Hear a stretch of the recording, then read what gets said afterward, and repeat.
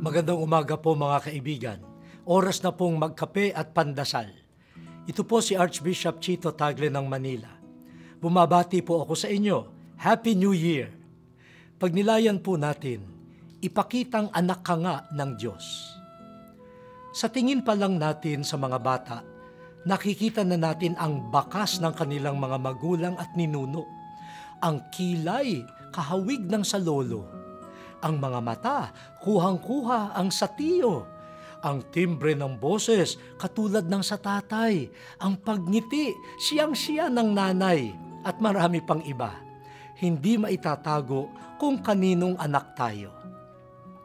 Sa pagsisimula ng taon, hangarin nating makita sa ating tayo nga ay mga anak ng Diyos. Paano yon? Sa pamumuhay ayon sa liwanag at hindi sa kadiliman ng kasamaan, sa pagsunod sa katwiran at hindi sa kabuktutan, at sa taimtim na pagmamahal at hindi sa pagkamakasarili.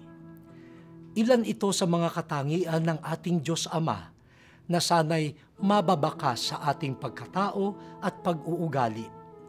Ito po ang dalangin natin sa bagong taon. O Ama, Salamat sa taong darating.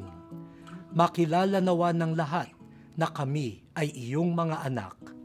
Amen.